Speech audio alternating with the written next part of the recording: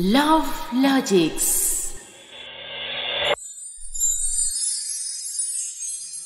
Hello दोस्तों love logics channel में आपका स्वागत है।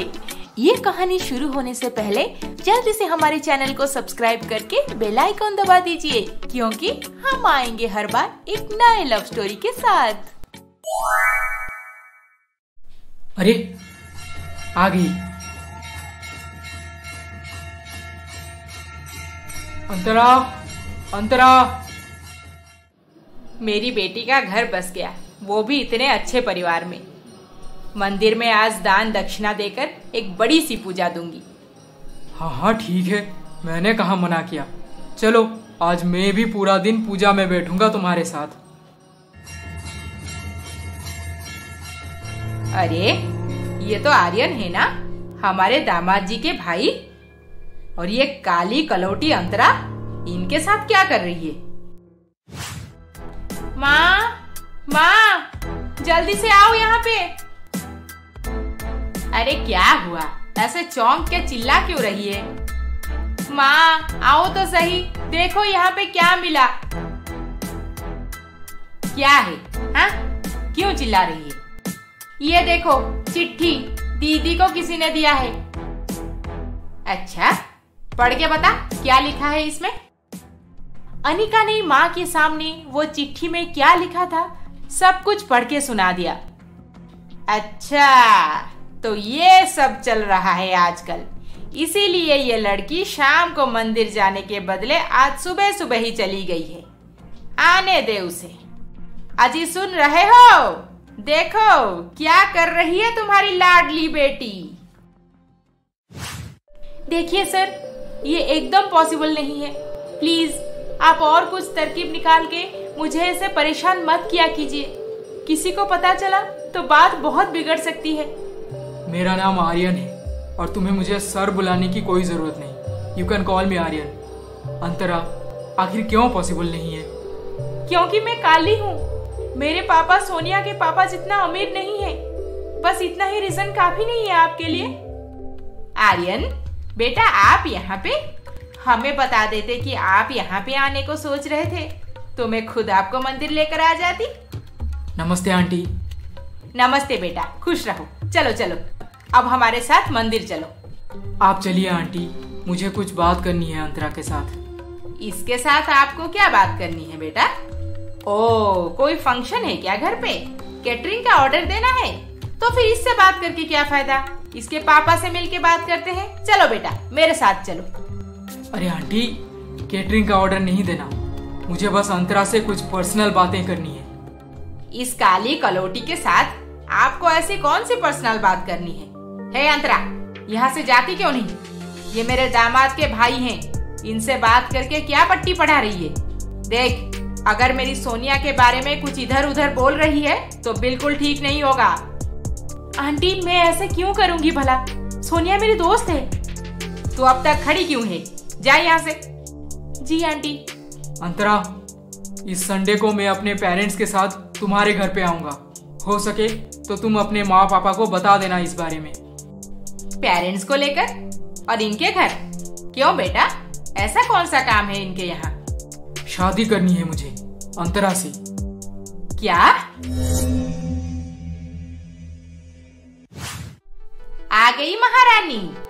क्या बात है माँ? ऐसे क्यों बोल रही हो?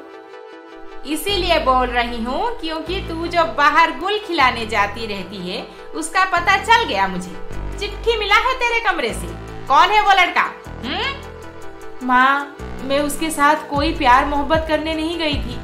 मैं तो बस ये बताने गई थी कि ये रिश्ता हरगिज नहीं हो सकता। पर वो मेरी सुने बिना ये बोल रहे हैं कि इसी संडे को उनके माँ पापा हमारे घर पे आएँगे। रिश्ता लेकर। रिश्ता तेरे लिए। ऐसा कुछ नहीं होने वाला। वो शहर में रहने वाले अमीर लोग। ऊपर से तुझ में ऐसा क्या देख लिया उसने, जो इतनी जल्दी शादी करने तैयार हो गया? ये सब ड्रामे हैं ड्रामे, तुझे पटाने के लिए। कुछ उल्टा सुल्टा काम ना कर देना उसके साथ। कौन किसको पटा रहा है हाँ? आप? आप हमारे घर पे? सच तो ये है कि वो आर्यन इसे घास भी नहीं डालने वाला। तुम्हारी बेटी उसे जादू टोना करके अपने तरफ़ खींच रही है। तुम सबका तो यही नेचर है ना? पैसे वाले आदमी देखे नहीं कि उसके पीछे पड़ जाओ। नियत में ही खोट है तुम लोगों का। मेरी बेटी सोनिया जिस घर में शादी करके रह रही है, ये अंतरा भी वहीं पर रहेगी? नहीं नहीं नहीं। ऐसे तो हरगिज नहीं हो सकता। ये अंतरा, आर्यन को सीधा सीधा मना कर देना। तुझसे दोबारा ना मिलने के लिए। क्यों? क्यों मना करेगी वो? अगर लड़का अपने से चल के रिश्ता लेकर आने वाला है तो हमारी बेटी उसे मना क्यों करेगी? ऐसा तो नहीं है कि हम गरीब हैं तो आप हमारे लाइफ का डिसीज़न भी लेंगी। और हाँ आप जिस लड़के के बारे में बोल रही हैं कि वो मेरी बेटी को घास नहीं डालेगा, मैंने खुद देखा है कि सोनिया की शादी में कैसे वो मेरी बेटी के आगे पीछे मंडरा रहा था। इससे बार बार बात करने की कोशिश कर रहा था। अरे आप जैसे छोटी सोच वाले अमीर लोग कहाँ किसी पढ़ी लिखी लड़की का मोल समझ पाओगे? जाइए जाइए यहाँ से। तुम्हें जो बोलना है बोलो पर मैं ये शादी हरगिज नहीं होने दूँगी। अगर मेरी बेटी के नसीब में आर्यन ही होगा तो इस शादी को आप क्या कोई नहीं रोक सकता। नमस्ते। अच्छा बाबा ठीक है ठीक है। मैं बात करके देखूँगी। और पूरी कोशिश करूँगी सबको मनाने की। अब खुश? चल मैं फ़ोन रखती हूँ। समीर जी आ गए। किससे बात कर रही थी सोनिया? मेरी जो बचपन की सहेली आई थी ना शादी में लिली उसी के साथ। अच्छा क्या बोल रही थी वो? शादी के बाद से बहुत बार कॉल कर चुकी है। हाँ एक्चुअली बात ये है कि वो आपके कजिन आर्यन को बहुत पसंद करने लगी है। मुझे यही बोलने के लिए बार बार कॉल लगा रही है कि मैं उसके साथ शादी की बात चलाऊं। क्या आप चाचा चाची से बात करके लिली के घर पे रिश्ता भेज सकते हैं? हाँ कर लेता मैं पर अब ये हमारे हाथ में नहीं रहा। आर्यन अपने लिए लड़की ढूंढ लिया है। ढूंढ लिया है? किससे? क्या बताऊँ यार तुम तो खामो खा गुस्सा हो जाओगी। खैर जाने दो शादी तो अब वहीं पर ही होगी। क्योंकि आर्यन जब कोई डिसीज़न ले चुका होता है तो उसे कोई नहीं बदल सकता। मैं अपना डिसीज़न हरगिज नहीं बदलने वाला माँ। शादी करूँगा तो अंतरा के साथ ही नहीं तो बिल्कुल नहीं करूँगा। सोनिया की माँ से कॉल आया था हमें आज। बोल रही थी उस लड़की के बारे में। देखने में एकदम काली कलौटी और ऊपर से खानदान का कुछ अता पता नहीं। और तो और उन लड़कियों का कैरेक्टर भी कुछ ठीक नहीं है। माँ बिना सच जाने किसी लड़की के बारे में ऐसे कैसे बोल सकती हैं आप? आपकी भी तो एक बेटी है। सोनिया की माँ सब झूठ बोल रही हैं ताकि अंतरा के साथ मेरी शादी ना हो पाए।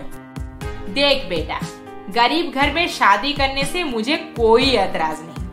पर शक्ल सूरत तो थोड़ी ठीक होनी चाहिए या नहीं? बता।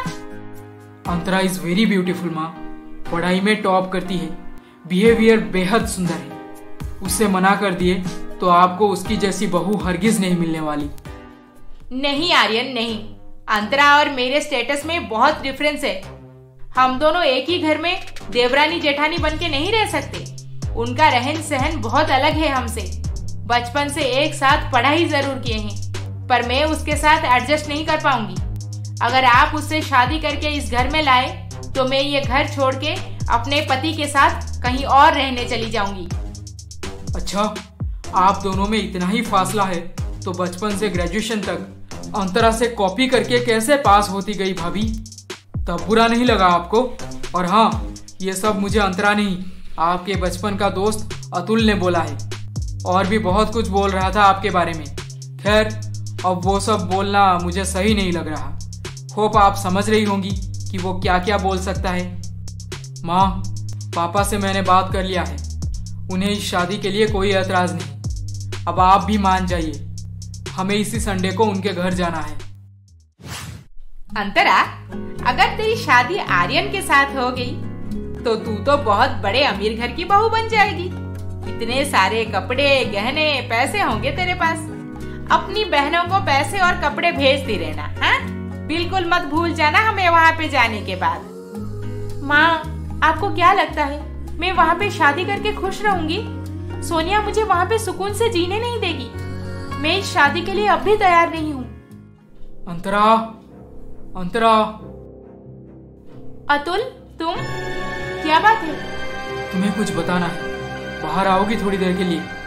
बहुत इम्पोर्टेंट है यार। चलो ना प्लीज़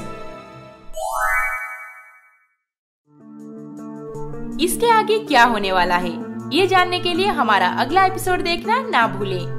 और अभी तक आपने हमारे चैनल को सब्सक्राइब नहीं किया है तो जल्दी से सब्सक्राइब करके बेल आइकॉन दबा दीजिए। अरे अरे अरे अरे, इस वीडियो को लाइक शेयर कमेंट करना ना भूलें। जल्द ही मिलेंगे अगले एपिसोड के साथ। नमस्ते।